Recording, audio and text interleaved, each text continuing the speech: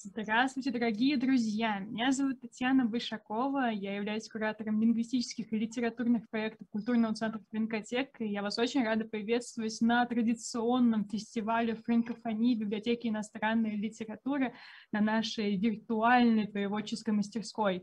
Для тех, кто пропустил великолепную предыдущую лекцию, я вас призываю перейти на канал Культуры РФ на государственный портал и посмотреть запись лекции Михаила Хачатурова о переводе французских комиксов. А сейчас мы переходим к следующей нашей лекции. В этом году наш фестиваль проходит под э, девизом «Французский ключ к миру». И, конечно же, одним из главных хранителей ключей э, к этому прекрасному миру являются переводчики, которые доносят через французский язык важные смыслы, важные слова для тех людей, которые, к сожалению, пока еще французским по тем или иным причинам не владеют. И особенно важно то, что зачастую французский язык становится ключом не только к миру, как э, к какой-то цивилизации, как э, к миру другой культуры, но еще и к миру на Земле. И с этим работают переводчики, которые работают в гуманитарной сфере, которые переводят для международных гуманитарных организаций, как «Медики без границ», как Международный комитет Красного Креста. И сегодня мы будем говорить э, о таком виде перевода, о переводе для гуманитарных организаций, про этику перевода современного и про те вызовы, с которыми сталкивается сегодняшний перевод с нашим большим другом, преподавателем школы французского языка, преподавателем МПГУ, с переводчиком, э, со специалистом по устному переводу Натальей Левандовской. Я с удовольствием передаю ей слово. Наталья, здравствуйте. Здравствуйте, дорогие друзья. Во-первых, я очень рада вас, э, некоторых видеть, некоторых, кого я увидела, успела увидеть. Очень рада, что вы пришли. И благодарю вас за то, что эта тема, несмотря на то, что она такая специфическая, она все равно привлекает людей. Ну, я, хочу поблагодарить э, за добрые слова наших друзей из франкотеки, потому что это наши большие партнеры, э, наши замечательные друзья, вот те люди, с которыми всегда приятно работать. Спасибо за то, что вы эту тему поднимаете э, в очередной раз. Это очень здорово. Спасибо вам большое, что вы нас приглашаете на такие темы.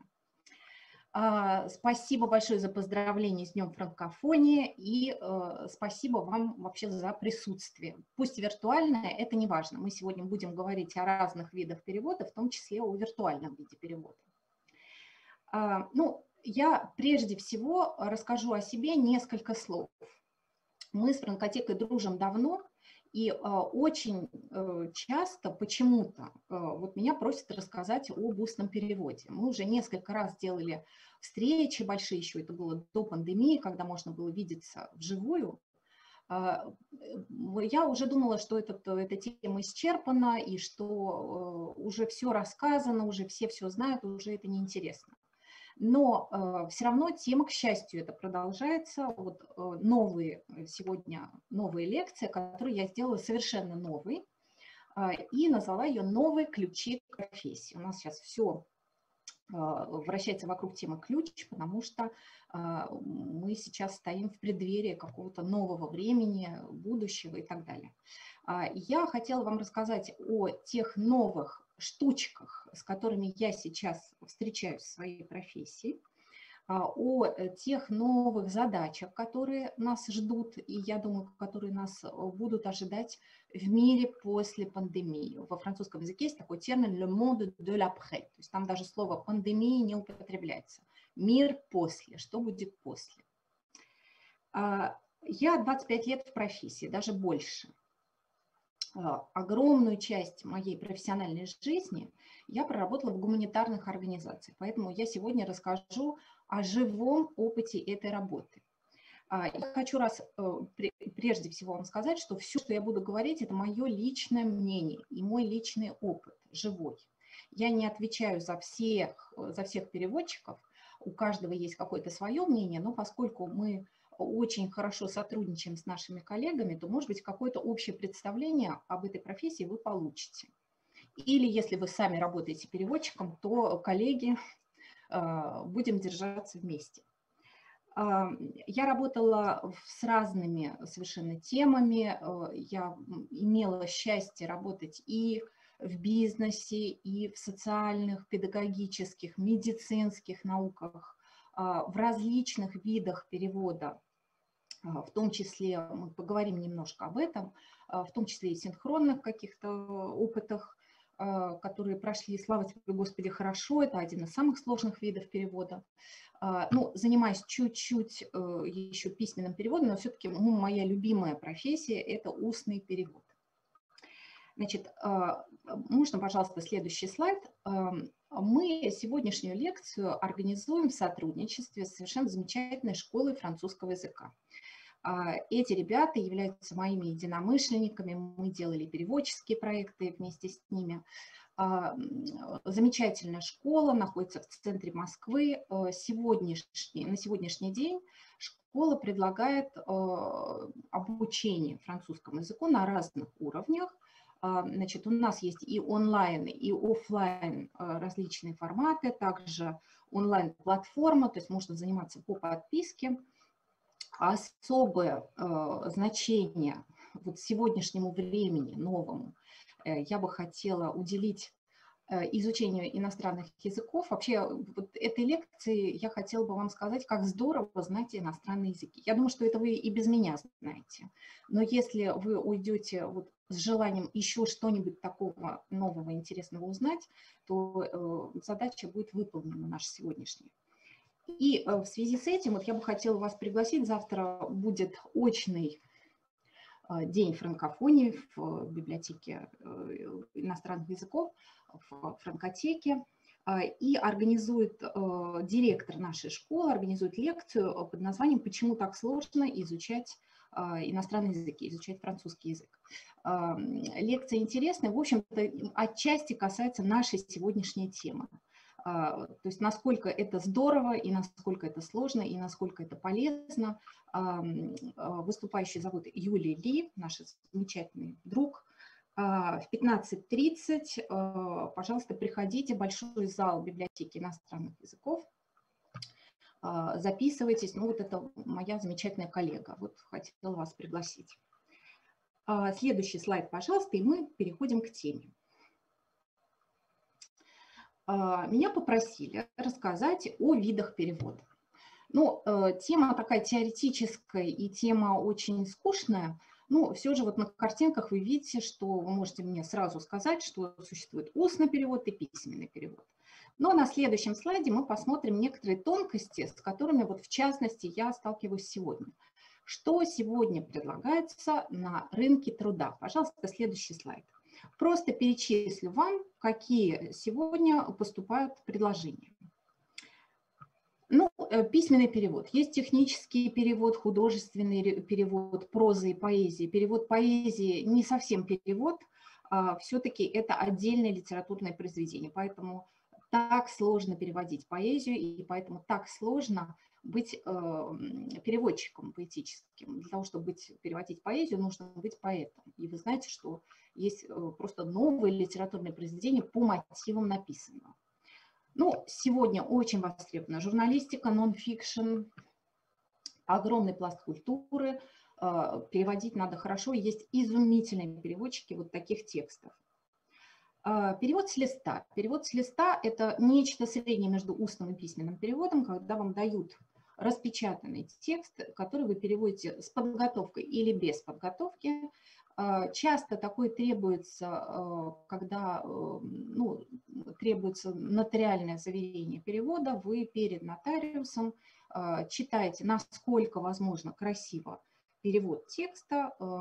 Если у вас есть время на подготовку, хорошо. Если нет времени на подготовку, то а, вы э, делаете все, что от вас зависит. Да? Естественно, лучше предварять, мы сегодня об этом еще раз поговорим несколько раз, а, лучше предварительно иметь э, возможность подготовиться. Ну, двусторонний перевод, когда в одном тексте есть и французский, и русский, ну, довольно редкий вид перевода. Свободный вид перевода. Вот сегодня это требуется чаще и чаще, все чаще и чаще. А, мне звонит клиент и говорит, э, мы сейчас делаем контент для нашего сайта, а, вот э, мы вам хотим отправить французскую статью, и, пожалуйста, переведите, ну, как-то свободно. Что значит свободно? Я или перевожу, или не перевожу. На основе текста вы выбираете какие-то интересные детали, и вы переводите э, их и облекаете это в какую-то интересную форму. Э, текст э, предложенный может быть большой, вы делаете из этого маленькую выжимку, или наоборот, из маленькой французской информации вы должны получить большой русский цветастый, красивый, вкусный текст.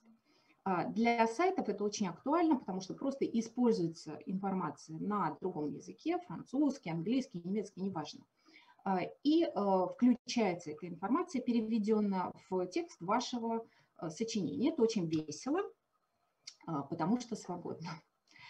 На сегодняшний день требуется письменный перевод интернет-контентов. Это всевозможные статьи, новости, новостные порталы и так далее. И так далее. Сегодня это наиболее а, востребованная вещь вот в, в рамках а, того опыта, который мы переживаем вот уже год, больше года.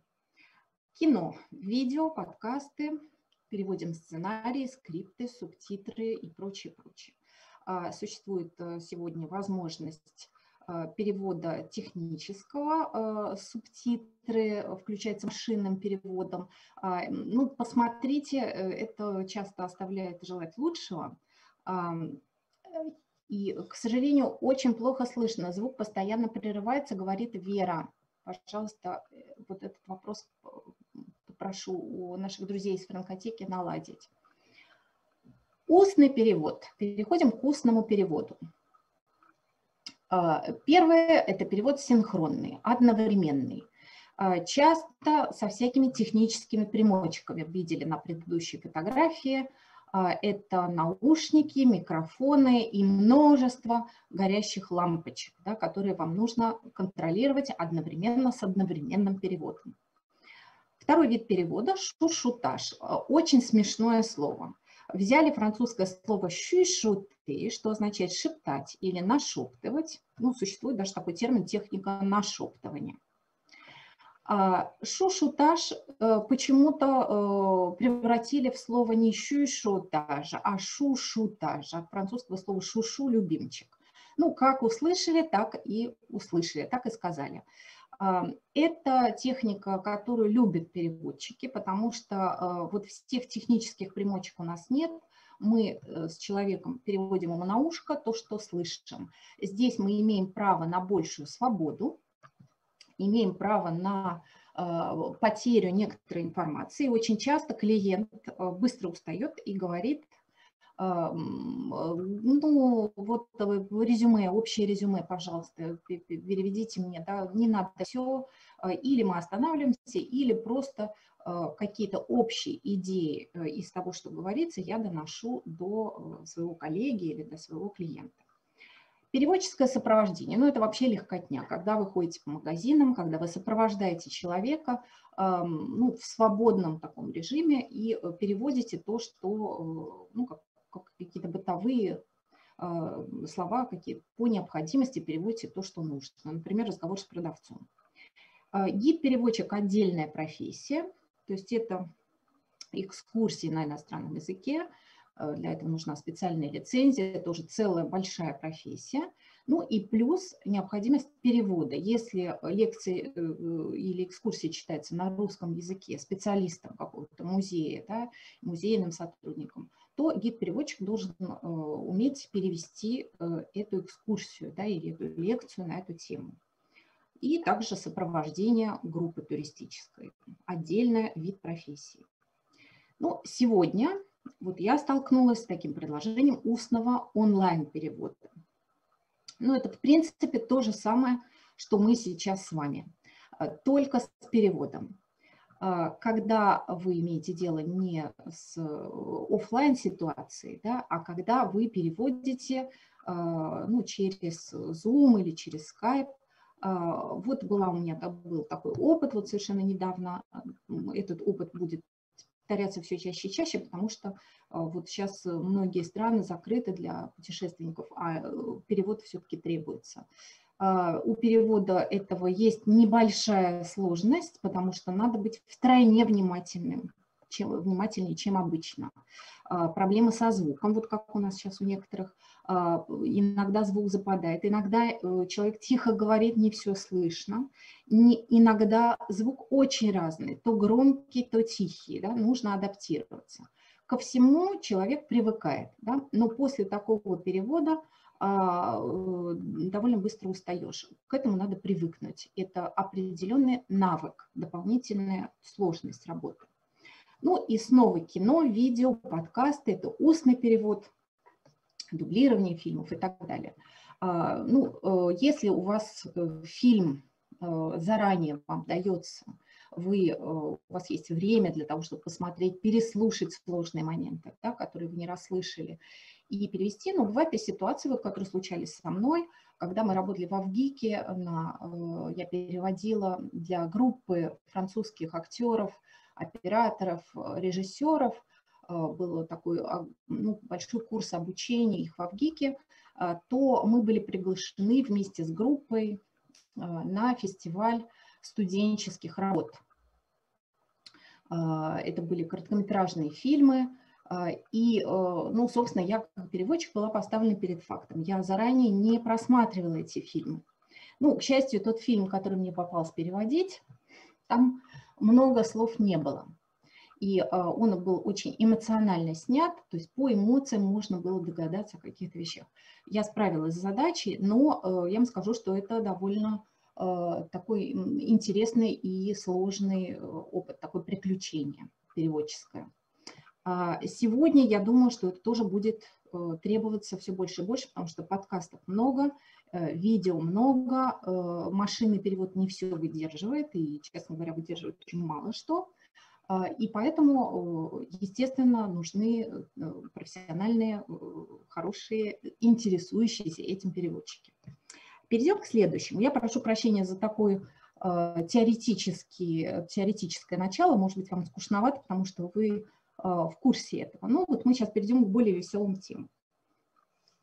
Когда я готовилась к лекции, я открыла несколько дней назад Яндекс а, и увидела, э, что существует абсолютно огромное количество страничек, которые, там, страничек или статей, которые ну, ставит под сомнение профессию переводчика. Сейчас очень модно э, говорить о профессиях будущего или об устаревших профессиях. Вот та профессия, о которой я вам сегодня рассказываю, оказывается в списке устаревших. Вот я вам прочитаю, здесь приведены, э, просто заглавия, которые я подряд копировала.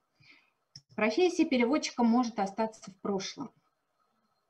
Переводчик – вымирающая профессия? Знак вопроса. Что делать? Умирает ли профессия переводчика? Есть ли будущее у профессии переводчика?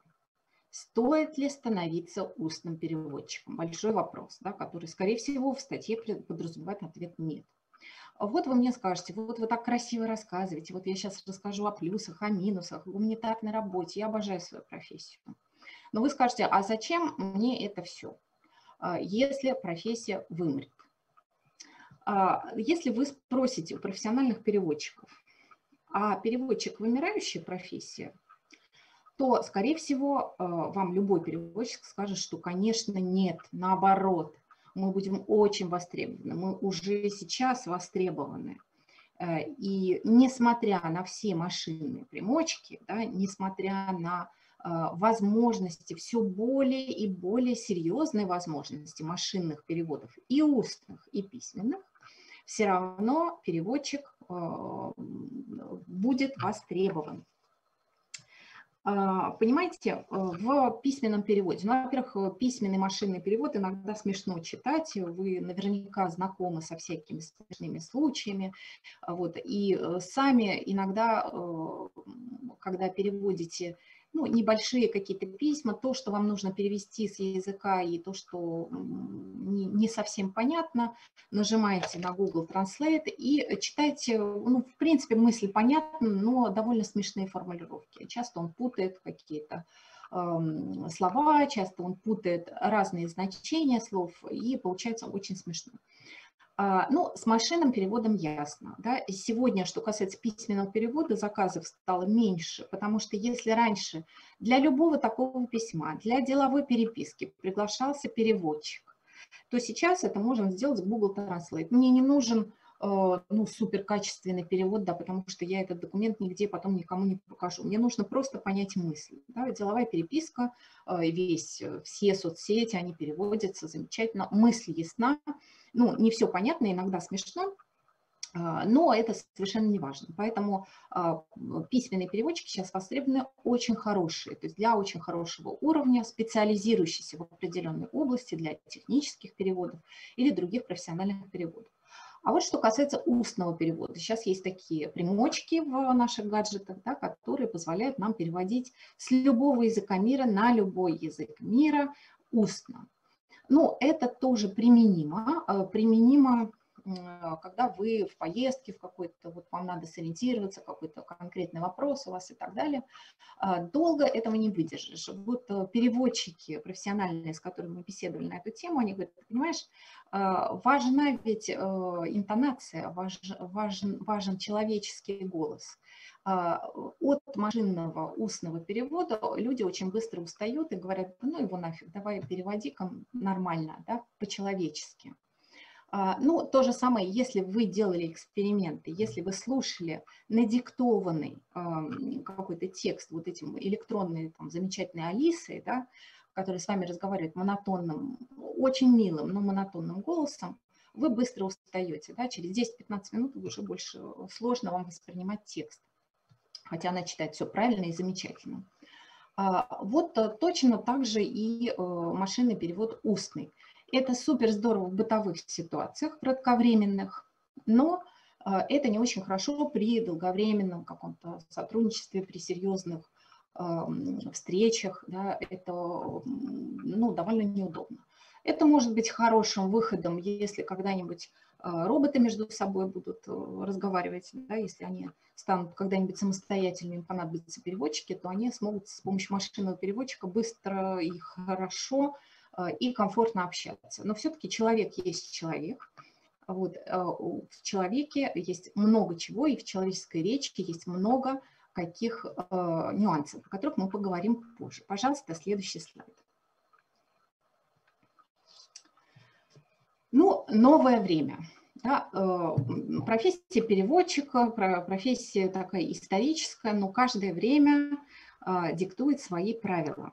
Э, что, на мой взгляд, вот из моего самого-самого последнего горячего опыта, что, какие выводы я для себя делаю в профессии, что новенького. А, ну, первыми новенькими вещами я вам назову традиционные вещи, которые мне всегда были дороги. И я считаю, что они стоят на первом месте, тем более сегодня. Этический кодекс, этика переводчика, честность и личные качества. Почему я об этом говорю? Потому что мы сегодня живем в мире э, огромного количества информации. Просто мир – Э, стал маленьким, и вот вся информация о мире, мы ее получаем, да, мы должны уметь фильтровать. Когда э, меня приглашают на э, перевод, на, на какой-то проект, я, особенно сейчас, всегда задаюсь вопросом, чему я служу, каким силам я служу, что будет через меня транслироваться. Мы переводчики, поэтому мы должны просто отражать действительность. Мы не имеем права редактировать тот текст, который говорится. Если сказали «дурак», мы должны это перевести адекватно. Если сказали «матерно», мы должны подобрать адекватное слово, а, которое этому соответствует. Ну и речь идет не только о кино, да, которое, в общем, э, требует точного эмоционального перевода. Речь идет о э, различных встречах, да, которые тоже, реальность бывает очень разной, эмоции бывают очень разные, разными, слова бывают очень разными. Я э, думаю, что сейчас возникнут вопросы, да, и по поводу мата тоже, потому что их часто задают. Ну, подумайте, если у вас они есть. Э, дело в том, что сегодня ну, переводчик это, это профессия проектная, а переводчик свободен в выборе, есть некоторые темы, которые я, за которые я не берусь вот именно по этическим причинам. Однажды мне предложили, предложила одна телекомпания переводить эм, э, Марин Ле Пен. Э, ну, такая скандальная женщина, политик э, во Франции. И я, поду, я отказалась от этого проекта, потому что я подумала, что транслировать вот эти идеи, не дай бог там, что-то недопоймешь, ошибешься, и вообще транслировать эти идеи, ну, через меня это не произойдет. Поэтому мы, слава богу, имеем право выбора, да, и об этом нужно задумываться. Этическая сторона дела. Ну, честность э, – это значит верный перевод, верное отражение действительности. Человеческая сторона профессии. Часто переводчика воспринимают как психолога. Конечно, ни в коем случае не нужно путать две профессии, но если вы приезжает человек, да, который не знает э, там, российской культуры, который в первый раз встречается э, с людьми. И то же самое наоборот, да, когда э, мы едем там с группой российских каких-то представителей вообще наших российских друзей, коллег, то э, ну, не все знакомы, кто-то волнуется, э, не все знакомы с культурой, с психологией, с менталитетом и так далее, и так далее, к переводчику обращаются за такими вопросами, слушай, ну вот как, вот а как, а как вот лучше разговаривать, а можно ли это, можно ли то, какие-то культурологические вещи. И вообще просто вы становитесь очень быстро ну, таким психологом. Конечно, это ну, не нужно путать два этих дела, вы все-таки переводчик прежде всего, но человеческая сторона, тепло, доброжелательность, открытость – это вообще ключ к этой профессии. Это всегда было. На сегодняшний день, э, почему я написала, что это требование нового времени, на мой взгляд, это очень актуально, и это будет очень актуально, потому что время меняется стремительно, да, и мы должны выбирать лучшее, чтобы перенести в новое время. Ну, качество, точность перевода э, сегодня втройне э, актуально, потому что э, для малокачественных переводов существует Э, машинный перевод, да, для неважных каких-то э, переводов существует э, Google, который действительно со дня на день становится все более успешным. Артистизм. Вот представьте себе, несколько раз уже услышала и увидела вот этот термин, артистичный перевод. Экспрессивный перевод еще бывает. А, вот когда в некоторых агентствах перечисляются требования к переводчику к устному, а, то э, среди качеств э, очень востребован артистизм. А почему это востребовано сегодня? Раньше монотонная речь воспринималась как информация, она воспринималась совершенно нормально. Сегодня любую информацию мы можем получить за доли секунды с помощью наших гаджетов. Интернет открыт для всех но э, мы сегодня менее восприимчивы э, к тому, что происходит. Нам, нас постоянно нужно чем-то будить, привлекать наше внимание, потому что наши мозги очень заняты вот тем огромным количеством информации, присыщенным, таким, присыщенные мозги, а, что нужно будить вот рассказом с выражением, что называется, ну такое детское, может быть, выражение, артистично, для того, чтобы тебя услышали, слушали, для того, чтобы это было легко а, для восприятия. Это очень важно. Скорость. Ну, тут не поспоришь. Время ускоряется. Чем быстрее мы переводим, тем больше денег мы экономим нашему клиенту, а, тем а, проще становится восприятие, тем проще становится наш перевод, потому что мы не тянем а, с паузами лишними, мы а, максимальную информацию а, излагаем за минимальное количество времени. Это тем более важно для синхронного перевода, где любая задержка равна непониманию следующей, следующей части фразы. Да? Экономя время, экономя силы мозга, мы становимся мобильнее и нам легче работать. Вот в синхронном переводе это наиболее важно. А, при последовательном переводе это тоже очень важно, потому что нам иногда делают такой, такой комплимент, спасибо, что вы сэкономили столько времени, мы не должны высиживать и ждать, пока вы сообразите, вы не делаете лишних пауз и так далее, и так далее. Это сегодня очень востребовано. А, прозрачность, умение оставаться нейтральным. А, конечно, когда мы переводим какие-то спорные вещи, нас так и тянет выразить свое мнение. Конечно, мы не можем, мы люди, мы не можем относиться одинаково там, к различным вещам. Да? Что-то мы поддерживаем, что-то не поддерживаем, с чем-то согласны, с чем-то не согласны. Переводчик – это тот человек, на должность, должность которого заключается в абсолютной беспристрастности. А, вы не имеете права высказывать вашего мнения во время перевода. После, пожалуйста, но во время перевода вы просто отражаете действительность наиболее честным образом. А, и умение оставаться нейтральным, поддерживать ну, дружелюбную атмосферу, насколько это возможно, поддерживать нейтралитет, не принимать сторону чью-то, да, это тоже очень важный такой навык. Чувство стиля. Ну, это важные штуки, потому что подросток говорит не так же, как профессор лингвистики. А, и сохранить, а, передать мысль можно тоже по-разному, да? А, сохранить не только мысль или конкретную какую-то информацию, но сохранить стиль – это тоже наша задача. А, то есть э, одно слово мы можем его передать различным, различным образом, да, это будет э, либо литературное слово, это будет либо сленг какой-то, вот, поэтому чувство стиля тоже надо придерживаться. И э, речь идет здесь еще и о профессиональных, о профессиональном аргу, о профессиональных, о профессиональном сленге, о профессиональном языке.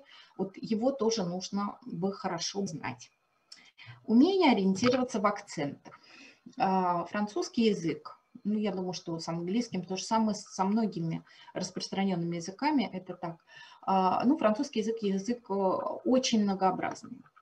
А, существует канадский вариант, существует швейцарский вариант произношения, существует миллионы африканских различных акцентов. Но раньше слово «акцент» приобретало значение неправильного, неверного, отходящего от э, нормативного языка. А сегодня об этом ведутся споры, и э, сегодня, ну, поскольку мир становится все-таки, может быть, в некотором смысле, хотя в это сложно поверить, добрее, вот сегодня отставится мысль о том, что существуют разные равные варианты этого языка. Я с этим совершенно согласна. Да, это не лучше, не хуже, это просто другой вариант языка. Когда э, канадец приезжает, э, или когда вы должны переводить канадца, вы должны привыкнуть к этому варианту канадского произношения, и э, вы таким образом можете легче переводить, да, чтобы вас не смущал вот этот акцент. Для этого нужно наслушаться и привыкнуть. А, африканские, они очень разные, да, э, акценты бывают. А, Северная Африка, Марокко, Алжир, там почти нет акцента, но есть какие-то свои особенности произношения, да, к которым тоже надо привыкнуть. Но чем южнее мы идем, Камерун, а, там довольно э, большие отличия. Э, это тот же французский язык, но со своими особенностями. Ну, чтобы себя к этому подготовить, ну, я, например, слушаю или смотрю различные сейчас э, и подкасты, и передачи, и э, там YouTube ролики какие-то, вот из разных концов мира на языке. Представляете, сколько это какое-то богатство, да? Не только Франция у нас есть, но есть еще много-много-много стран мира с культурой, которой мы можем благодаря французскому а, познакомиться. Э, и таким образом мы готовим себя к возможностям перевода легкого перевода, насколько это возможно. Вот э, таких вариантов. Многозадачность, об этом будем говорить. Э, уже об этом говорила. Живой перевод – это не всегда комфортные условия. Ну, я уже об этом не раз рассказывала. Я переводила и вниз головой вися, и на борту лайнера, перескакивая с корабля на лодку – и э, летела на дельтаплане и переводила одновременно. А, переводила на теплоходе во время качки сильной. А вот, э, ну, это кажется такими приключениями, это очень весело, конечно, но а, надо учитывать, что вот во время всех этих а, замечательных приключений вам нужно продолжать переводить. В каком бы положении вы ни находились. Холод, холод. Вы переводите в мороз. Жара, жара, вы изнемогаете от жары, но все равно переводите. Вот э, такую историю расскажу. Э, ночь, а, Ладога, а, связи нет, а, и очень сильная качка. Мы плывем на корабле с группой французов, и я работала переводчицей, сопровождающей, и одной женщине в группе стало плохо, вызвали бортового врача, и вот мы полночи провели для того, чтобы вот как-то а, помочь этой пациентке. Вернее, помогала не я, а доктор, я переводила все, что происходило. А, качка была очень сильная. Обычно качку я чувствую, ну и любой из вас, начнется морская болезнь. Но поскольку задача была поставлена ясная, работать несмотря ни на что, стоять было невозможно, сидеть очень сложно, потому что корабль шатало. Вот представьте себе, никакой качки. А, вот после этого случая я задумалась э, о том, что а, вот все эти моменты, да, плохо переносишь а, качку или плохо переносишь высоту, это все-таки связано, ну, или, или психика имеет очень сильное влияние на наш организм. Профессия лечит, вам хочу сказать. Вот многозадачность – это умение находиться одновременно в разных ситуациях, делать одновременно много чего – а, учитывать сенсорные какие-то факторы, освещение, микрофон, а, эхо, холод, жару, в общем, все, все наши э, обстоятельства жизни, которые могут быть очень необычными. В этом прелесть перевода и прелесть работы в гуманитарных организациях, потому что а, все-таки гуманитарная область – это область живая, область, связанная не с кабинетом, а уютным, теплым, хорошо протопленным. А это живой перевод, э, когда ты где-то ползешь, бежишь, эм, ныряешь, я не знаю, ну, то есть это масса-масса разных обстоятельств. А уменьшение числа заказов. Конечно, мы живем сейчас в непростое время да, по, по многим причинам. Сейчас а, количество заказов уменьшается, тоже надо уметь с этим быть, да, и уметь быть готовым к тому, что сегодня много заказов, завтра будет мало заказов и так далее, и так далее. То густо, то пусто, это называют переводчики. А, и э, надо учитывать, что темы, востребованные, тоже очень характеризуют время. Если раньше были модные темы нефть, газ, а, то сегодня очень востребованы темы медицины, естественно, да, которые это вообще тема номер один, слава богу, что это так, эм, потому что мы обращаем внимание на какие-то главные вещи в нашей жизни. А, экология будет э, очень важной темой, да, как эм, ну, слезть вот с этой нефтяной иглы, как планете помочь и как вообще выжить на, на этой планете. А, вот такие заказы, они будут э, наиболее востребованы, особенно вот этом в мире после, в мире после пандемии.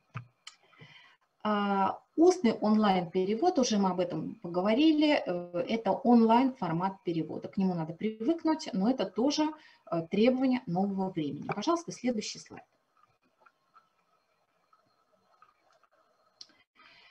А, что сейчас больше всего ценится в переводе? Вот я вам просто не буду говорить за много времени. Вот э, последние, вот несколько последних заказов, которые у меня было. Значит, первое, вот что, что мне сказали, вам прям передаю как есть. Спокойствие. Сегодня востребовано спокойствие. Спокойный голос при переводе, доброжелательный, очень востребован. Время агрессивное, время нервное, время тяжелое, время сопряженное со многими трудностями, да, со всех сторон. А, вот люди напряжены, и поэтому при переводе спокойствие очень важно. Очень важно предвар... очень важна предварительная работа. То есть, когда вы предупредительны, когда вы выполняете работу в срок, да, письменные либо устные переводы, когда вы приходите вовремя, вот это сегодня мне просто клиенты пишут и говорят спасибо вам вот за соблюдение сроков. Это для нас очень важно. Вот почему-то, я не знаю, то ли мне попались такие коллеги, да, такие клиенты, то ли это действительно э, деление времени. Нам нужно спокойствие, нам нужно эм, э, ну, в общем, насколько возможно э, лучше предварить разные сложности, которых у нас и так полно в жизни. Ну, вот тут я вам поставила небольшую такую шутку. А, маски. Переводить в масках. Ничего не слышно, ни тебя не слышно, ни человека не слышно. Это нужно тоже учитывать. А, учитывать как? Ну, во-первых, предупредить заранее, что мы сейчас в масках говорить нужно громче и членораздельнее, и, возможно, медленнее. И самому говорить также. Вы, конечно, большой молодец, вы переводите супер здорово, у вас отличная скорость, а, вы супер профессионал, но если вас при этом не слышно или теряется половина слов, вот как на этой картинке, французы пошутили так недавно, э, перевод невозможен, потому что ничего не понятно, что говорится.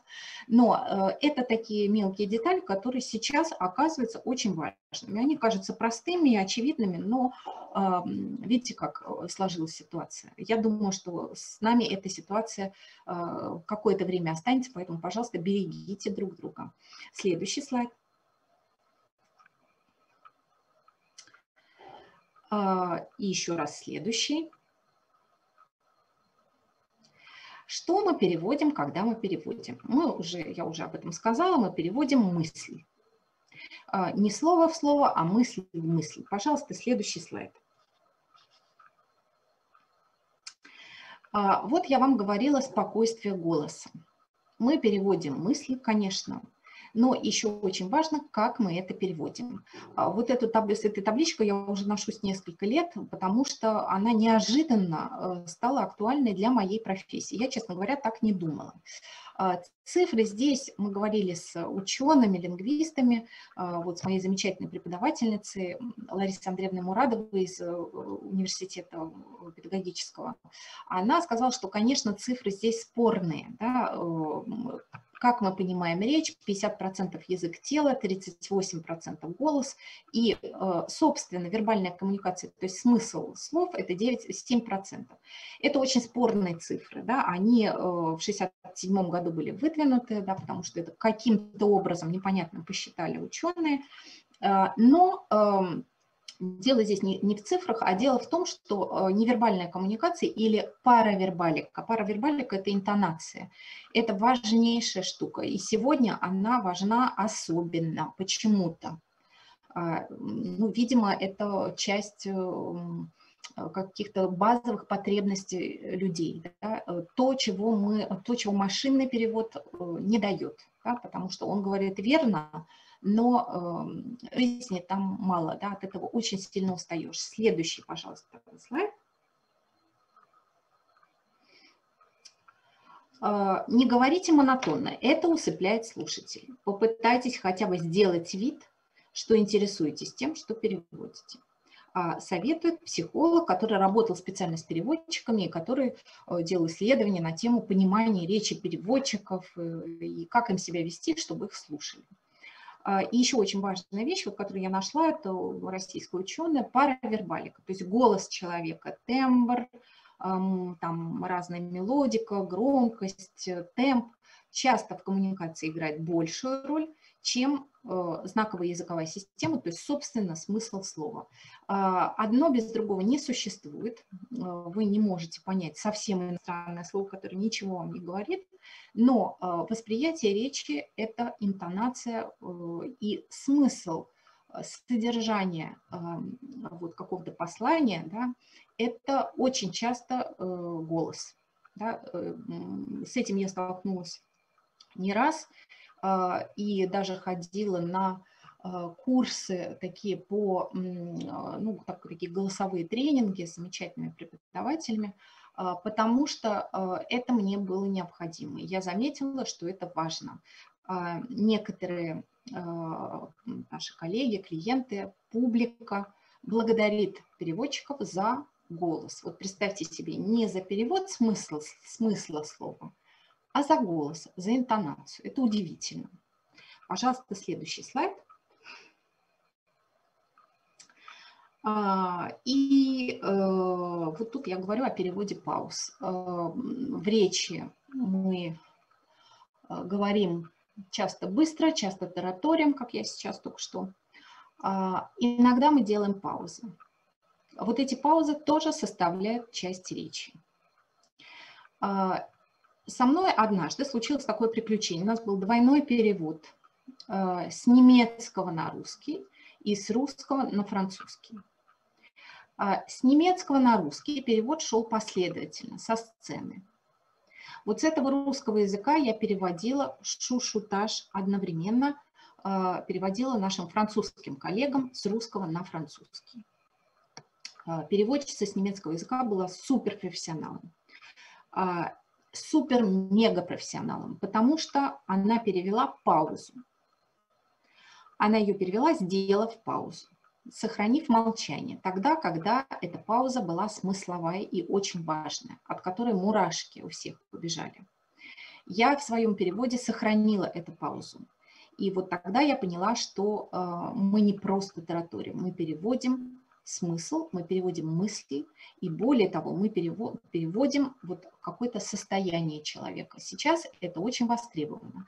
Еще раз повторю, что информация, раньше переводчик существовал для информации, для передачи информации, потому что негде было прочитать или заказывать, вот я помню, мы заказывали в библиотеке книжку, нужно было ждать иногда месяц, чтобы тебе подобрали правильную книжку, потом ты едешь в эту библиотеку, берешь книгу, а, в общем, это занимало огромное количество времени. Сейчас любая информация у нас под носом.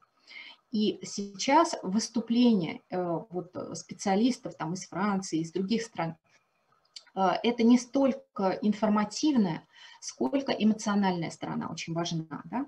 Э, когда даже ты на техни, во время технического перевода технари понимают друг друга прекрасно, практически без переводчика. Но очень важна вот эта человеческая составляющая. О ней, о ней мы поговорим вот по гуманитарным нашим делам. Пожалуйста, следующий слайд.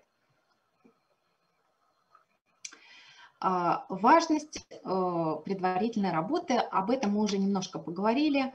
А, и еще очень важно, вот вы наверняка знаете, что о переводчиках существует масса а, мемов.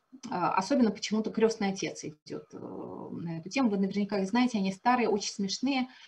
И там речь идет в основном Э, о контексте. Ты просишь меня перевести словосочетание, но ты просишь без контекста. Мне нужен контекст, говорит переводчик. Да? Это уже стало таким комическим, комической стороной дела, а, но а, это очень важно. Да? Поэтому предварительно важно изучить контекст.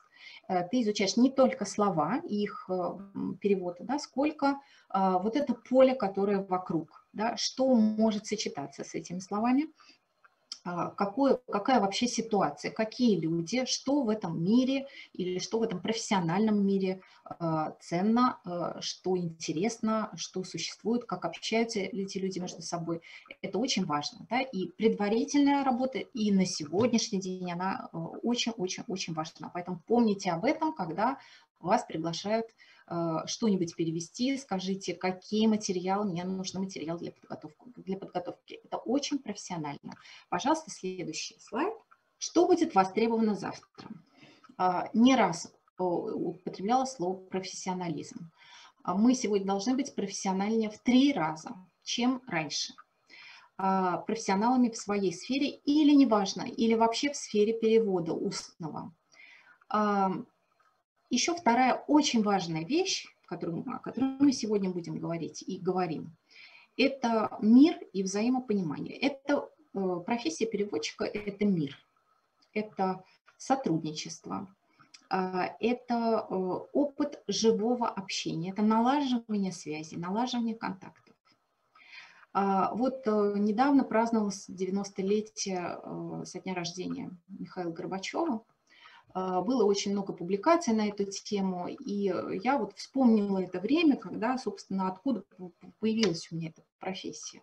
Очень благодарна я этому человеку, этому времени, потому что это было время открытия железного занавеса, знакомства с другими культурами, вот этого шага навстречу друг другу. А, и я увидела, что очень многие переводчики, вот когда ему писали какие-то поздравления или там ну, вот, э, на сайтах были какие-то воспоминания, публикации, то очень многие переводчики вот его, ему как раз благодарны вот за эту открытость. Ну, дело не во времени, время это ушло, но дело в том, что этот принцип, он будет оставаться важным всегда – и мне кажется, что сотрудничество, коммуникация будет очень востребовано, когда а, вот закончится этот период э, закрытости а, и когда вообще вот это время э, такое трудное закончится. Я всегда напоминаю себе о том, что времена меняются, времена меняются очень быстро, что вот читая книги о Средневековье, я понимаю, что возрождение готовилось во время, во времена Средневековья, оно было подготовлено, да, оно не просто так возникло. Вот, поэтому наша задача вот этот огонек нести а, и помнить о том, что профессия переводчика – это профессия мира, профессия гуманная, профессия доброжелательная. И вот еще хотела вам сказать о том, что многие переводчики, я в том числе, свидетельствуют о том, что а, вот у нас возникает вот это удовольствие почти физическое, когда мы видим, что две стороны договорились, когда они подружились, когда они познакомились друг с другом, когда они доброжелательно друг к другу относятся, когда переговоры состоялись. А, вот я это не раз замечала среди своих коллег, мы делимся этими эмоциями, да, потому что мы все-таки люди, а, и во многих выступлениях даже синхронистов, да, а, вот они говорят, что вот прошло там какое-то совещание, и вот у нас почти до мурашек удовольствие о том, что мы послужили делу мира, объединения – ничего, мы не развиваемся быстрее, э, вот, э, то есть самый, самый быстрый э, скорость развития это тогда, когда есть несколько сторон в этом процессе. Это всегда обмен знаниями, навыками, настроениями, культурами. А, это ну, действительно дело будущего. Да, если мы в него хотим попасть, то нам об этом надо помнить.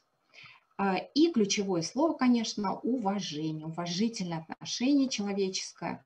Вот этому всему я научилась, работая в гуманитарных организациях. Пожалуйста, следующий слайд. А, я работала в нескольких гуманитарных организациях очень долго, очень много, э, до сих пор сотрудничаем, э, очень люблю этих людей – ну, это вот э, замечательная организация, в которой я долго проработала, Handicap International. А, э, это помощь инвалидам по всему миру, людям с инвалидностью по всему миру, а, который машинный переводчик нас, наш перевел как международное затруднение. Мы все очень веселились. Э, видите, как машинный перевод может не передать смысл слова. А, врачи мира замечательные, с которыми мы путешествовали по северу, а, с которыми очень много а, было сделано, и до сих пор есть результаты вот этих чудесных проектов. Ну, врачи без границ тоже мы, естественно, знаем этих людей. Организации, это, ну, организации часто имеют разные э, периоды своего развития. Разные люди стоят во главе этих организаций. Мне посчастливилось быть знакомой вот с первым поколением, с плеядой людей, которые создали эти организации.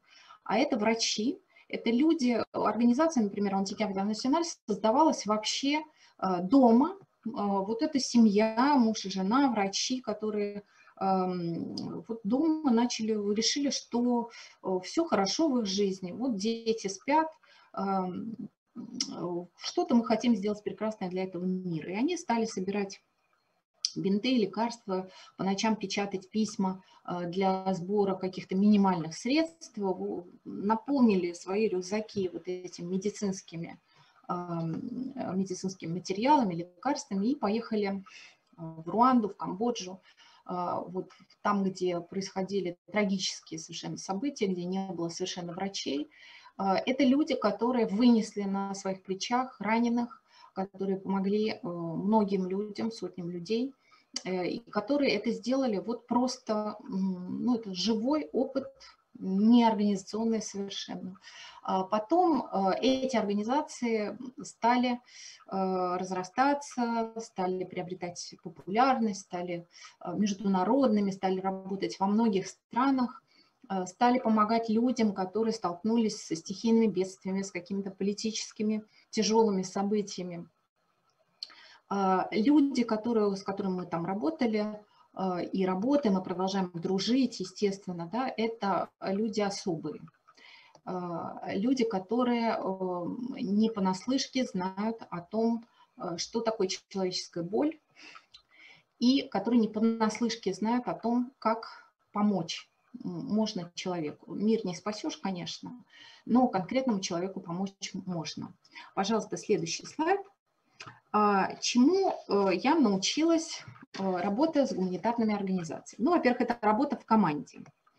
А, это уважение друг к другу, это очень высокие цели, да, это живая работа, вот то, о чем я говорила уже, да, это работа, когда а, ты участник эм, ну, каких-то необычайных обстоятельств, трудных, сложных, а, которые тебе тоже нужно по-человечески пережить, и еще не забыть свою главную миссию, да, это профессиональный профессионализм и э, правильный, верный перевод человеческий.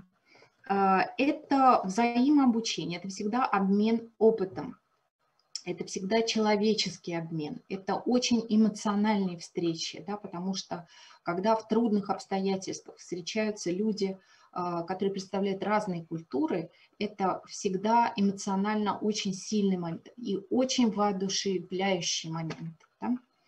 А, ну, потом, конечно, э, мы и лингвистически кое-чему поучились.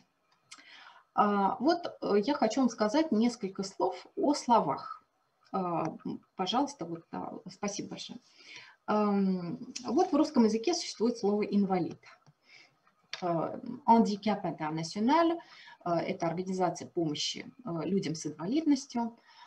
И вот у нас в самом начале нашей работы возник такой конфликт э, переводческих школ.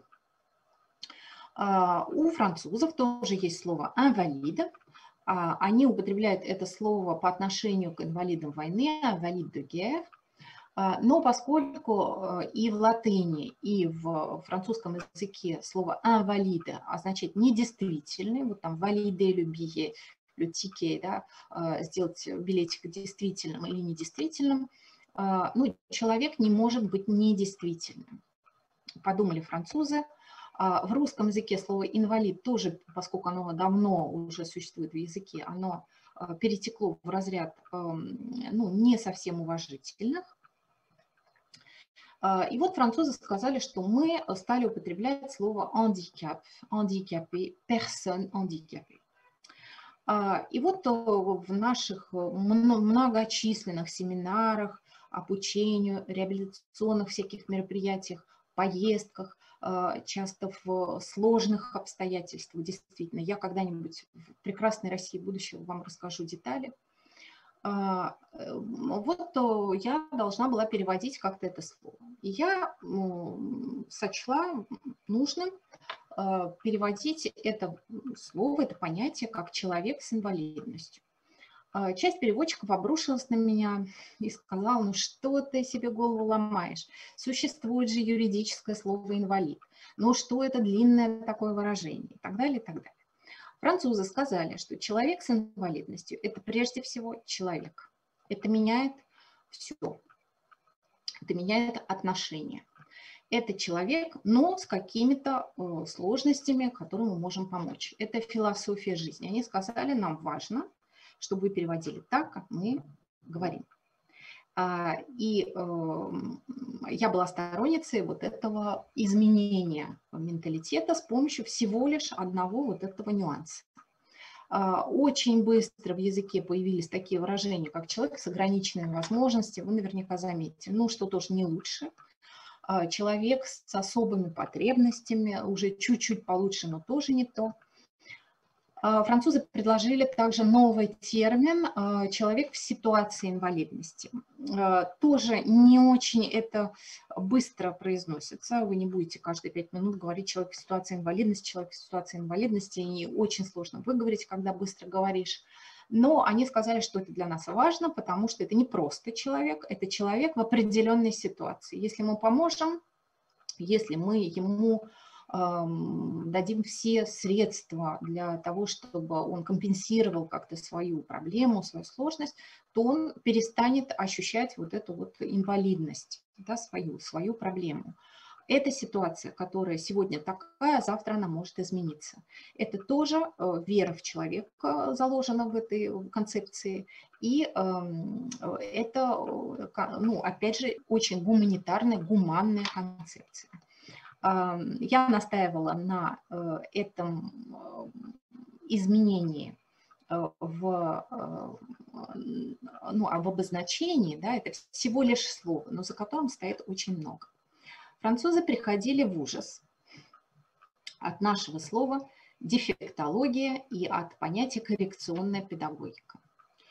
А, мы этого не замечаем, к тому же специалисты дефектологи, специалисты в области дефектологии, это прекрасные специалисты, которые точно так же, как и французские специалисты, работают с детишками, с какими-то сложностями, проблемами, а, э, которые делают возможное и невозможное, которые их любят, которые работают очень профессионально. Неважно. А, сама концепция дефектологии – это концепция советского периода, когда э, любая особенность человека – какое-то заболевание или патологии и так далее считалось дефектом. В слове дефектология есть слово дефект. А, ну, вы знаете, в Спарте э, сбрасывали со скалы э, детей, которые рождались с какой-то проблемой, да, потому что они были вот, ну, бракованными, они не признавались обществом, потому что э, в Спарте все должны быть румяные, здоровые, в советском, в тоталитарных обществах тоже э, человек э, должен соответствовать какой-то вот картинке. Все остальное высылается в интернат. Коррекционная педагогика. Педагогика, которая призвана исправлять человека, исправлять этот дефект, не подстраиваться под его нужды, не давать ему необходимые какие-то средства для того, чтобы ему выжить, для того, чтобы ему чувствовать себя лучше, для того, чтобы быть счастливее, наконец. А, нет, э, наша система изначально эм, говорила о том, что мы всех под одну гребенку, все должны быть вот э, одинаковые. А, конечно, это философские понятия, но а, у французов э, есть концепция education spécialisée, специальная педагогика, специальное воспитание, специальное образование для э, людей с определенными проблемами. А, мы сначала э, переводили слово дефектологи, которое не существует во французском языке, но которое мы переводили так, как есть, для того, чтобы отразить наши реалии.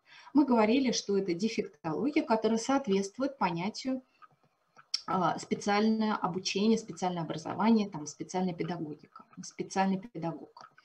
А, и французы обратили на это внимание и сказали, ребята, надо менять менталитет, надо менять слово.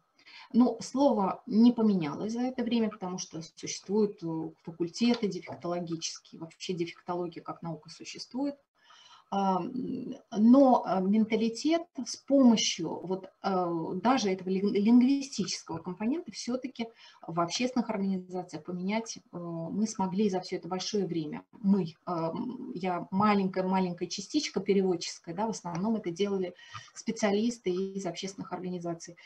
Сейчас существует такое понятие, как особый ребенок, особое детство. Речь идет о детях с различными видами нарушений, психических, ментальных там и прочее, прочее, множественных нарушений. Вот э, насколько одно слово может воздействовать на э, менталитет.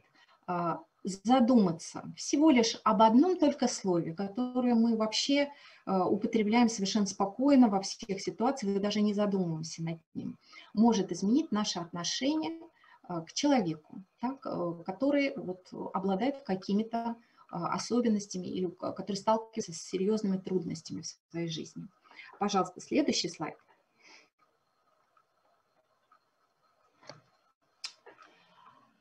Что сложно в нашей профессии? Вот начну с таких моментов, что сложно. Да, вот мы работали в разных обстоятельствах. Помимо переводческих сложностей, мозг устает. А, и вот э, мы уже задумывались над этим вопросом нейробиологическим. А, мозг э, работает на полную катушку. А, вот когда я работала в э, проекте с психиатрами швейцарскими, часть семинара их касалась вот очень модной темы нейробиологии. Да, мы уже об этом говорили с ребятами из франкотеки, которые тоже очень интересуются этим вопросом. А, и для того, чтобы подготовиться к этому семинару, я прочла много книг а, на эту тему, которые меня ну, безумно заинтересовали, потому что а, здесь речь идет о том, как мы устроены, а что у меня происходит в голове, когда я перевожу. Вот замечательная наша ученый, нейробиолог Татьяна Черниговская, вы ее наверняка очень хорошо знаете, она чудо, что такое.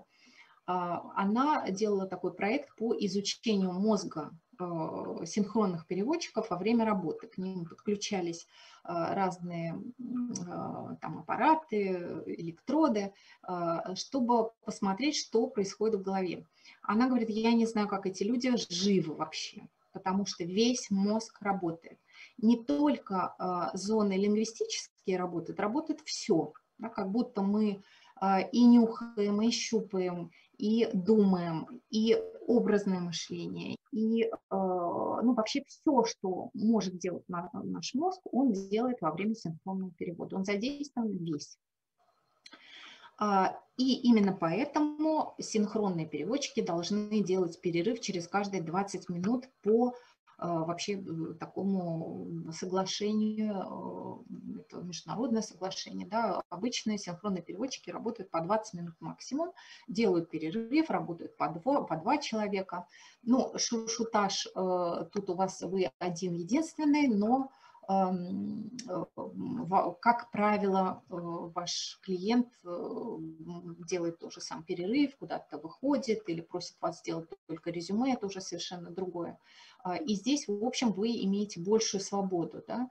А, вы можете сохранять не всю информацию, можете не включаться вниманием в каждую секунду а, разговора. Непредвиденные обстоятельства очень важны. Да? И это составляет тоже одну из сложностей работы. Ответственность, публичность, а выступать перед публикой сложно. А выступать перед публикой а, даже онлайн не так просто, все равно волнуешься, а выступать перед публикой офлайн еще сложнее, к этому надо привыкнуть. Сенсорная перегрузка, об этом я вам говорила. Расскажу вам о своем печальном опыте, когда я просто была готова покинуть свою любимую профессию навсегда. А, мы возвращались из Красноярска, а, не спали, э, перелет был долгий, сложный. И приехали вечером, надо было переводить перед огромным залом в французском посольстве а, под светом софитов, микрофон, к которому тоже надо привыкнуть к его звуку, да, эхо, огромный зал, тебе слепит в глаз вот это софиты, а, и я, мозг э, решил, что он устраивает забастовку по-французски, да, faire la grève. А, я очень стушевалась, потому что я не понимала смысл фразы, которую мне говорили по-французски. Я понимала каждое слово, но э, не понимала, что значит вся фраза. А, мозг отказывался работать, устал. Сенсорная перегрузка.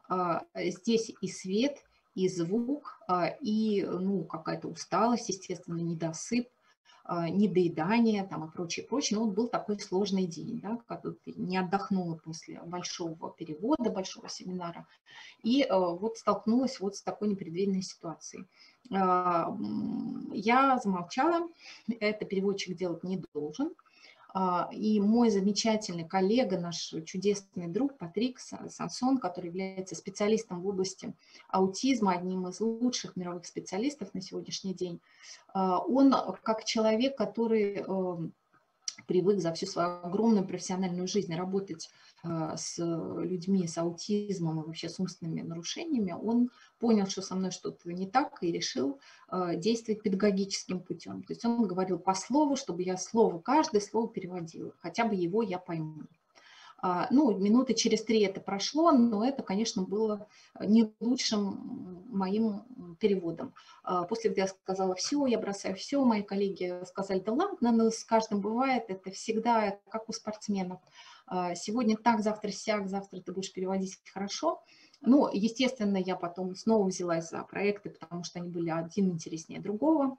А, и э, просто э, учла, что нужно уметь отдыхать и нужно уметь предварять вот такие вот обстоятельства и говорить заранее, да, э, планировать свои силы, соизмерять.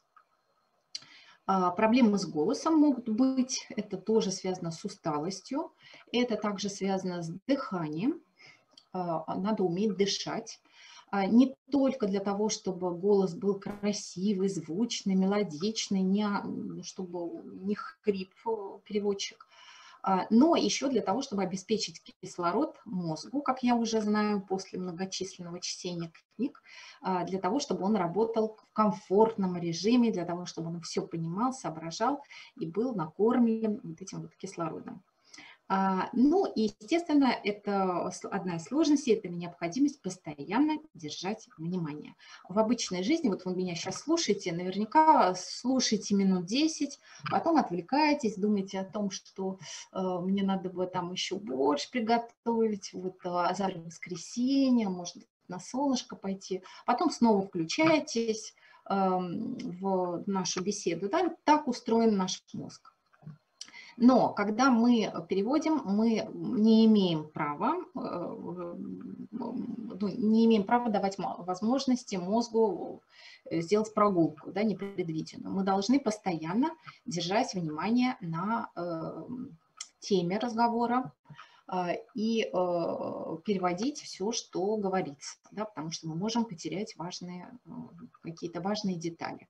От этого устаешь, да, потому что мозг тоже человек, он тоже хочет отдыхать. Это важно готовить. А, следующий, пожалуйста, слайд. А, вот люблю я эту картинку. Устный переводчик как утка.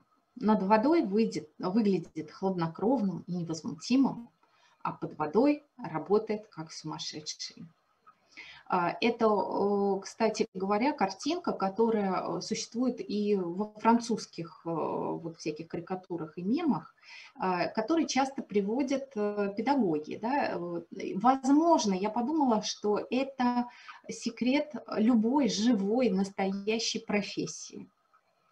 Так можно сказать и о спортсмене, так можно сказать и о враче.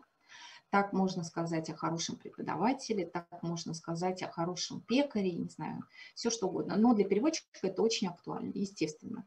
А, но а, соблюдение вот этого внутреннего спокойствия, доброжелательности, постоянные мысли о э, высокой задаче. Я говорю сегодня высокопарные слова, но мне кажется, что вот в наше время их очень важно сказать но в то же время ты думаешь о той внутренней работе профессиональной, которую, о тренировке, а, о внимании постоянном, о сосредоточенности, о точности, качестве, скорости. Вот все, что составляет а, ценность нашей э, профессии. А, ну, рассказала вам о сложностях. Сейчас, пожалуй, пора сказать и о плюсах. Следующий слайд, пожалуйста. Ну, о плюсах, да, это даже скорее не о плюсах, тоже люблю эту картинку. Не знаю, плюсов здесь больше или минусов. Наверняка вы видели эту картинку. А, что а, вообще оборудование, ну, как должен быть переводчик? Во-первых, мне здесь очень нравится гидравлическая нога, позволяющая любому наподдавать переводчику за ошибки устному ну, четыре руки для одновременного письменного и устного перевода. А, я вам говорила о многозадачности. Э, это действительно так, потому что в то время, когда вы переводите, э, у вас еще могут быть и всякие письменные источники информации. Отвлекаться с одного на другой сложно, то есть это удваивать сложность задачи. Вот, но все-таки иногда приходится, как Наполеону, хотя, конечно, Наполеон – это профессия совершенно другая, нам приходится отвлекаться на разные-разные-разные моменты и делать хорошо и то, и другое улавливать каждое слово гигантская тарелка радар, естественно. А, когда один голос хорошо, но когда несколько голосов, а, ну, переводим максимум того, что слышим. А, переводчик должен иметь информацию обо всем, даже то, как переводить с греческого на английский. Но это имеется в виду общекультурный контекст. Когда вы переводите неизвестное никому слово, вы должны его расшифровать либо попросить э, своего коллегу, франкоязычного, если это с французского языка перевод, э, чтобы всем было понятно, что это такое. Либо, э, если для ну, кого-то это непонятно, вы просто имеете право дать какое-то добавление или синоним, или, возможно, какой-то российский эквивалент этого слова. А, ну, тросы, удерживающие переводчика на ногах в течение долгого времени, э, это действительно так. Но здесь нужны тросы еще и для висения вниз головой.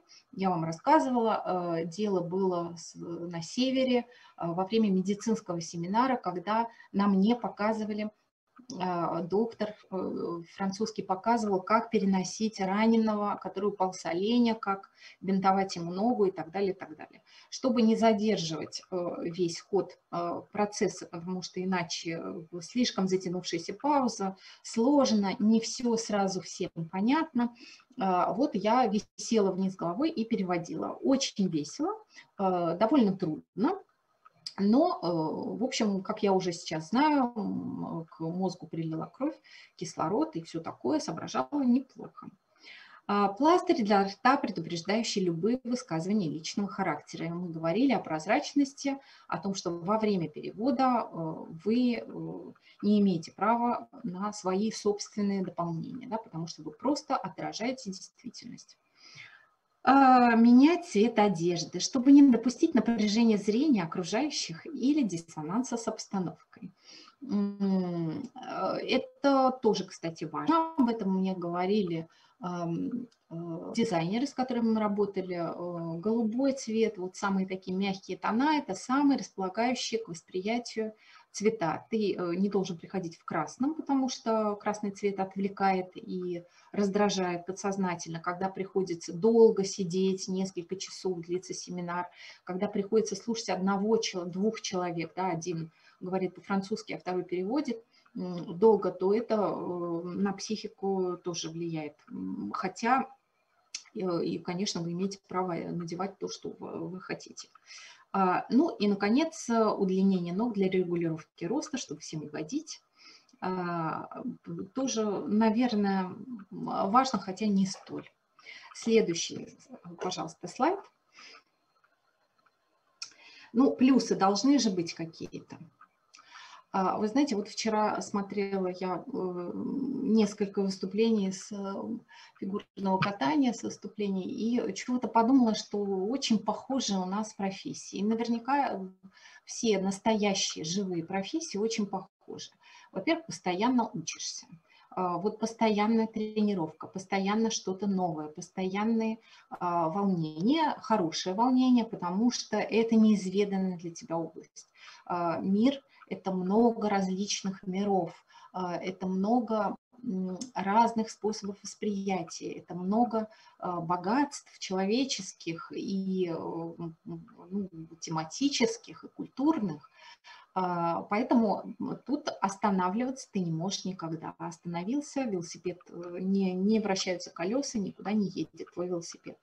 Потом это очень честная профессия. Вот и в спорте тут не спрячешься ни за дипломом, ни за знакомствами, ни за деньгами, ни за чем. Ты делаешь э, хорошо или плохо, это сразу видно, э, и э, соврать здесь не, нельзя, невозможно. И мне это очень нравится, потому что в нынешнем мире, ну, не очень простом, даже по сравнению вот с предыдущими временами, не очень свободным, все-таки а, вот это честное отношение к своему делу и профессионализм честный, он а, мне очень мил. А, Ну, разнообразие тем, возможность их выбирать, естественно. Когда мне говорят, вот э, новая тема, многие переводчики говорят, это не моя тема, я никогда не переводила, я вообще в этой области ну, не специалист. Вот я, моя тема медицина, давайте я буду медицинные переводить. А, я иногда не отказываюсь от таких новых предложений при условии, что у меня есть э, время подготовиться.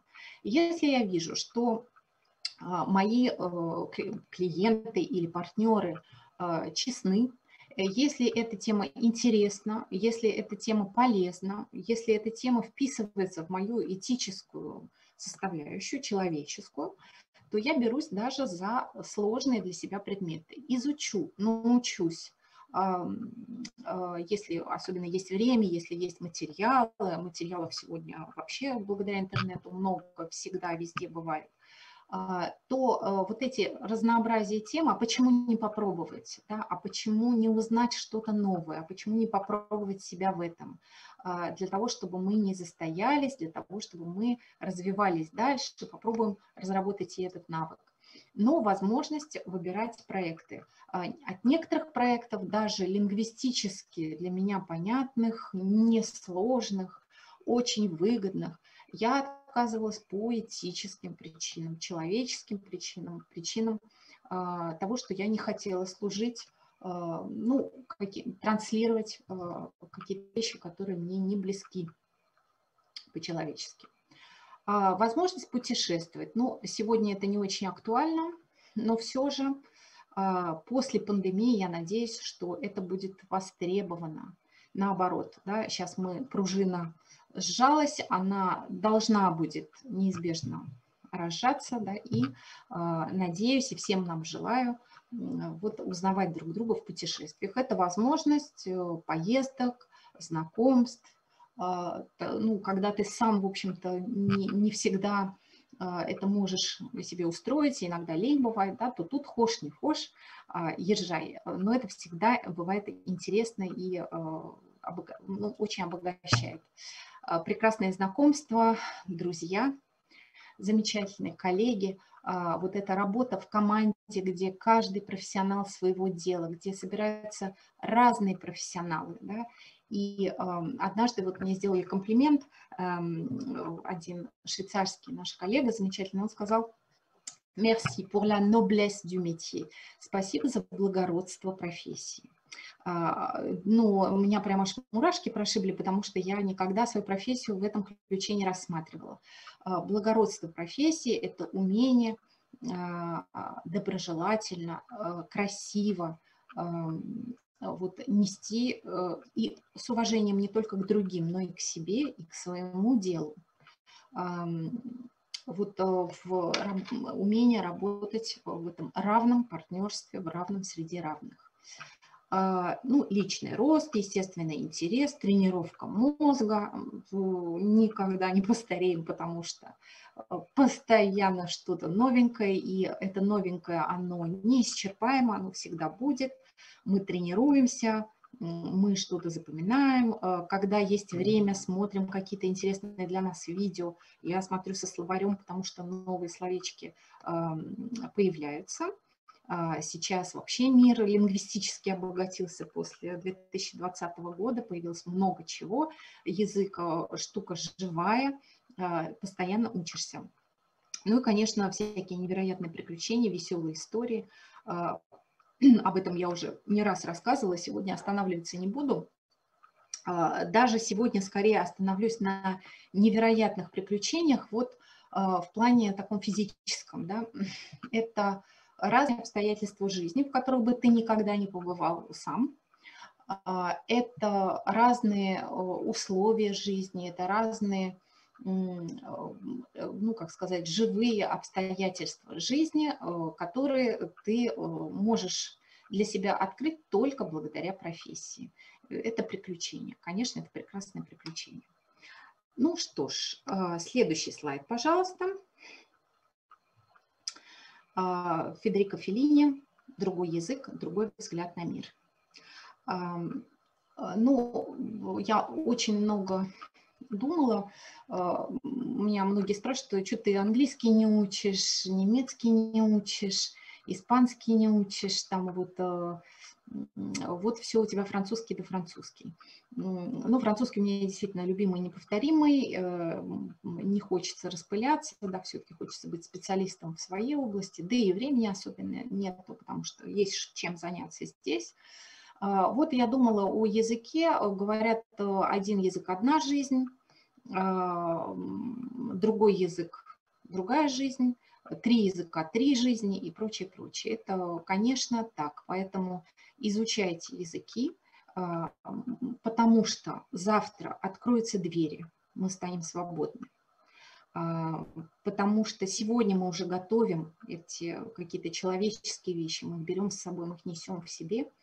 А, и потому что это для нас лично очень полезно и здорово. И следующий слайд, он же последний, это иллюстрация ну, сейчас очень много вот таких шуток, а, переводы а, с, особенно в Китае, Китай этим славится, блюд различных. Ну, особенно посмотрите, как переводится язык в тесте вот, китайскими специалистами на английский язык. Это очень весело. Благодарю вас за внимание. И сейчас вот у нас несколько минут, минут 20-15 есть на Эм, а, на ответы, вопросы-ответы. Да, э, друзья, добрый день. Пишите, пожалуйста, ваши вопросы э, в чат. Тут уже есть э, некоторое количество вопросов. Благодаря нашему чату, Наталья, я узнала ваше отчество, потому что собрались настоящие поклонники вашего дела, и Ребята, которые вас знают уже давно, и имени отчеству. Давайте начнем э, со входа в профессию, с блока вопросов про вход в профессию. Э, я не знаю, как зовут пользователя по имени iPhone. Э, пользователь X спрашивает. Здравствуйте, Наталья Юрьевна. Скажите, пожалуйста, в 30 с лишним лет поздно уже менять профессию, учиться на переводчика, учитывая то, что языки в изучении даются легко? Спасибо. Вы знаете что? Э, я думаю, что никогда не поздно. А, я даю научный ответ на этот вопрос, потому что мы работали с учеными, работали там, со всякими вот этими вот процессами, я это все переводила, и, и э, ну, могу вам точно вот от них передать, что это действительно так, никогда не поздно. А, а, учимся, работаем. Я не сторонник долгого обучения, обучения и обучения. Да? Берите разные опыты, пробуйте себя. Поначалу пробуйте бесплатно а, я не знаю, перевести друга, или просто, если у вас есть время, вот попробуйте, ну, как французы говорят, vous amusez, да, поразвлекайтесь а, разными переводами вот э, подкастов, YouTube, всяких штучек, киношек, простых, э, сложных, разных, да, просто для себя попробуйте. Попробуйте синхронный перевод, попробуйте с остановками последовательный перевод или какой-то бытовые, э, как какие-то друзья, какие-то встречи. Э, вот от этого не отказывайтесь. Смотрите, наблюдайте, это ваш темперамент или это не ваш темперамент. А иногда вот ну, мы даже вот говорили со студентами, что есть э, письменный темперамент, есть э, устный темперамент. Есть переводчики наточенные на письменный перевод, а, то есть это люди а, усидчивые, это люди, которые любят а, вот каждое слово проверить, перечитать, их ну, не Э,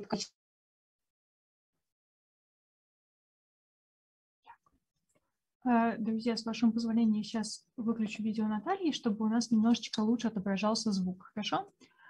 Э, это займет две минуты буквально. Э, я пока прочитаю следующий вопрос. Наталья, смотрите, у нас еще дальше, во-первых, предыдущего пользователя звали Татьяна, мы уточнили этот вопрос. А еще у нас два пользователя также спрашивают, два слушателя спрашивают о том, где пройти профессиональную подготовку на синхронного переводчика? Ну, что вы порекомендуете, какие курсы, курсы при подготовке профессиональные, что-нибудь типа такого?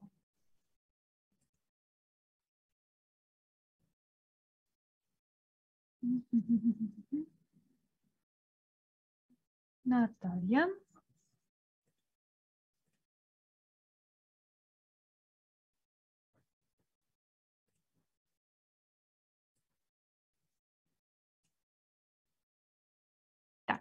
Тогда давайте, я думаю, что сейчас Наталья... Ага. Наталья, давайте тогда так. Сейчас Наталья у нас перезайдет в эту же конференцию. А, и я сейчас, пока Наталья перезаходит, а, я э, на данный момент вам э, включу как раз тоже небольшое выступление от Натальи про то, как работает мозг переводчица, переводчика во время, собственно, работы. Хорошо? А пока Наталья перезаходит и будет готова отвечать на ваши вопросы.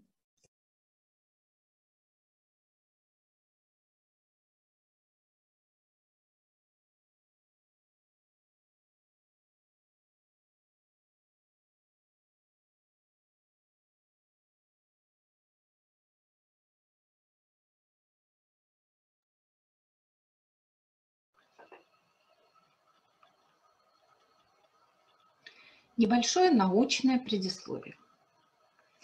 Ну, прежде всего, я предлагаю вам поразмышлять, что изображено на этой картинке. Даю минутку, подумайте, смотрите, подумайте.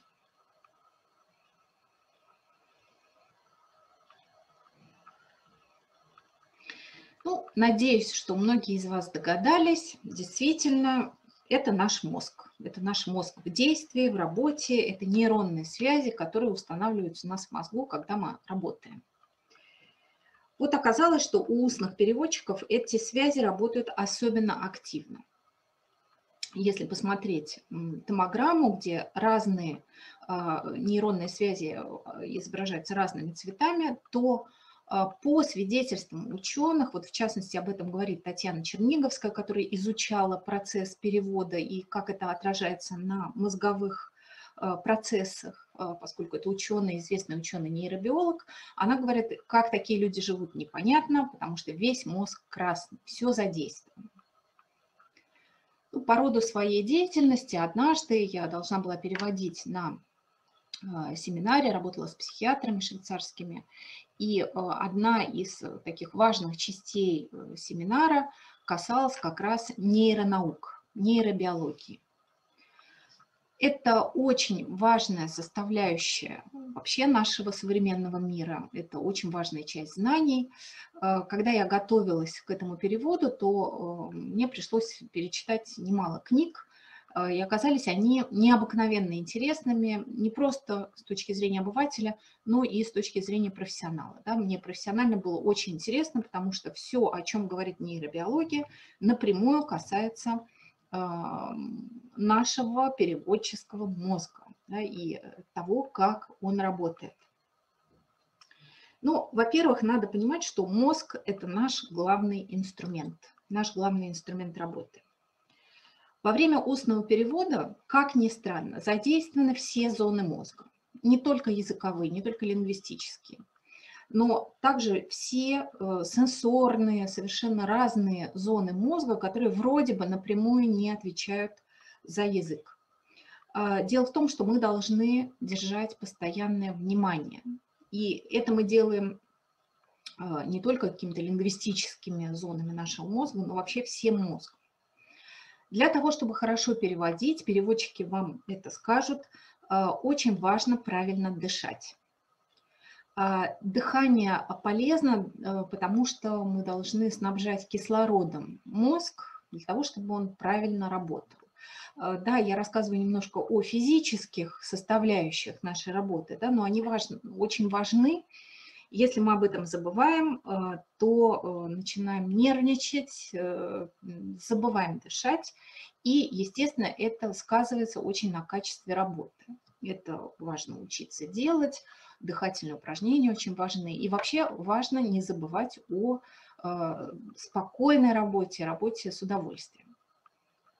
Когда мы работаем устными переводчиками, неважно, синхронными или несинхронными, действует кратковременная память. А, часто мы действительно не помним, что было пять минут назад, потому что мы сосредоточены на смысле слов, на смысле а, предложений, которые мы переводим здесь и сейчас. Да, поэтому это тоже очень важно помнить и тренировать именно этот вид памяти. Что сложно в работе переводчика, кроме всего прочего? Вот по опыту вам могу сказать, что э, сенсорные факторы, то есть э, освещение, э, звук, Сегодня актуальны переводы онлайн-переводы, да, и э, звук не всегда бывает совершенным. Для этого нужно держать внимание, постоянно вслушиваться и попытаться, ну, пытаться как-то победить а, существующие условия. А, это все влияет на то, как работает наш мозг. Да, об этом тоже очень важно помнить. И важно подготавливать себе вот свою область работы. Ну и последнее, о чем я хочу сказать. Эм, ну, те, кто интересуется эзотерикой, всегда спрашивают, существует ли телепатия, как она выражается и так далее, и так далее. Вот каждый переводчик устный, ну, тем более синхронный, может вам сказать, что в телепатии нет ничего такого особенного. Это э, с течением времени, с опытом работы, в общем-то, появляется уже как э, навык, естественно, мы шутим, нельзя всего предсказать, но когда ты долго работаешь с человеком, когда ты долго работаешь с предметом, когда ты долго работаешь над какой-то определенной темой, появляется навык работы, и уже с помощью разных физиологических процессов мы можем немножко и иногда предугадывать мысли человека. А, это никакой загадки не составляет, хотя сама профессия и то, как мы с ней справляемся, уже является загадкой.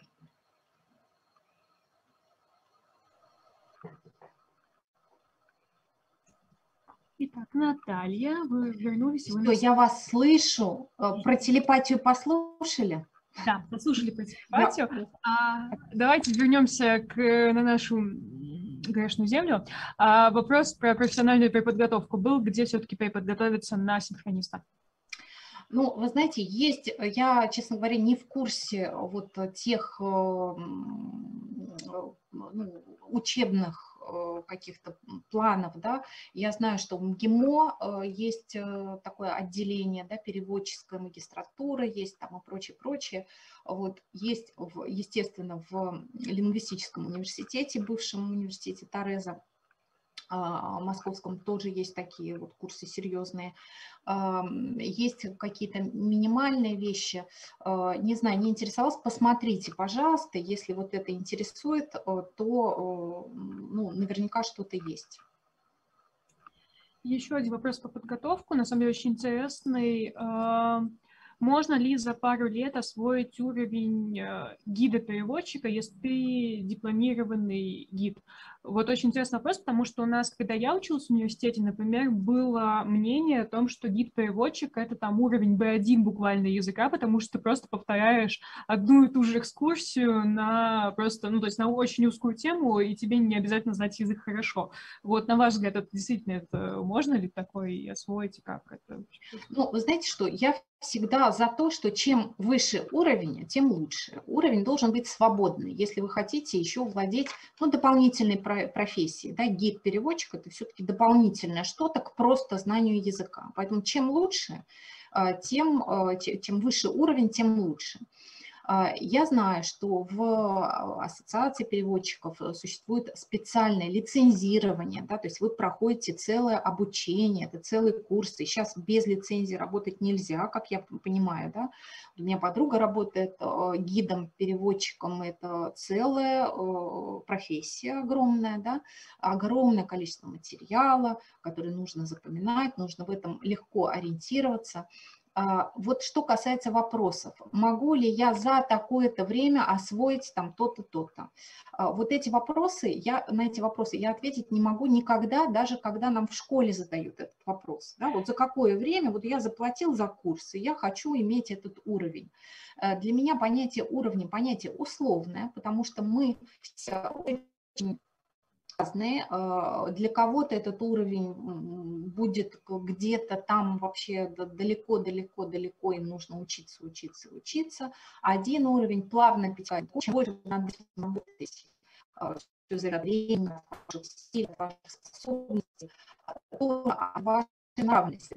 Говорит, письменный вы, у вас темперамент, вы быстро вам нужно, у вас сильно зрительная, слуховая да, то есть человек это очень э, такое богатое существо, э, очень раз, ну, разностороннее.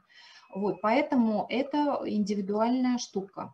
вот, но касательно курсов гидов-переводчиков, они существуют у нас э, как ну, такое обучение профессиональное, поэтому там, ну, там уже требуется определенный уровень языка. Чем выше он, тем лучше.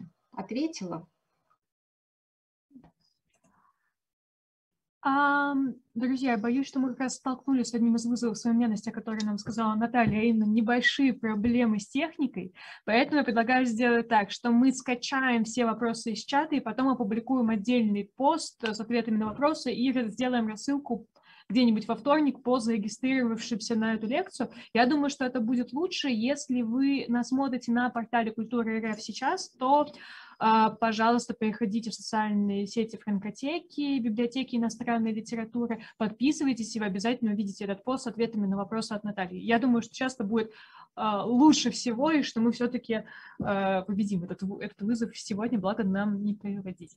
Да. А, Наталья, у вас снова пропал звук. Я могу с сурдопереводом переводить как-нибудь, но я боюсь, что это не, не будет не очень хорошо, к сожалению. Друзья, давайте я тогда переведу, что хотела сказать Наталья. Спасибо вам большое, дорогие друзья, за эту лекцию, за ваши прекрасные вопросы, а, за вашу активность. А, Наталья обязательно вам на все ответит, а, пришлет, и очень приятно было с вами а, разговаривать сегодня. А, дорогие друзья, я вас приглашаю на остальные мероприятия а, нашего замечательного фестиваля франкофонии, и буквально через 20 минут приглашаю вас присоединиться к следующему переводческому переводческой лекции, которая будет тоже посвящена одной из э, тем, которые затронула Наталья, это диалекты французского языка, а конкретно африканские диалекты, и вы поймете, как, например, суахили соотносится с современным французским языком, и как вообще понимать африканские акценты стран южнее Сахары. Спасибо вам большое, Наталья, спасибо большое, друзья, и до новых встреч!